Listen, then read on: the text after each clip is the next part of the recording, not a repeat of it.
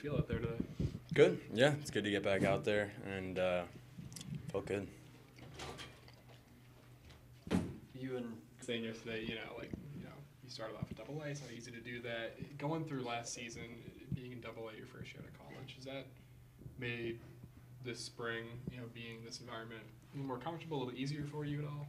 I think just overall, it's it's been a lot more comfortable as a whole this spring. Um, being in big league camp, obviously last year with the lockout, the big leaguers weren't around. Um, just getting to know everybody, it was kind of a whirlwind. And this year it feels a lot more comfortable.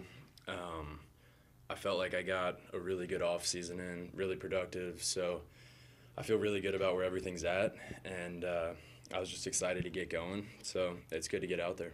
What have you learned from some of those big leaguers that have been around you these first what three weeks of spring?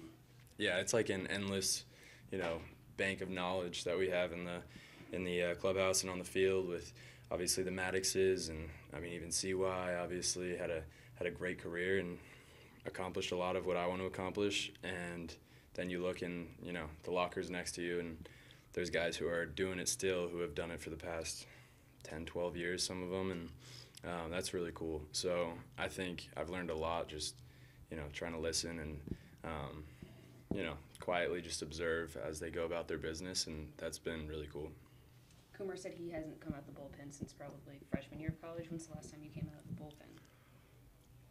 Hmm.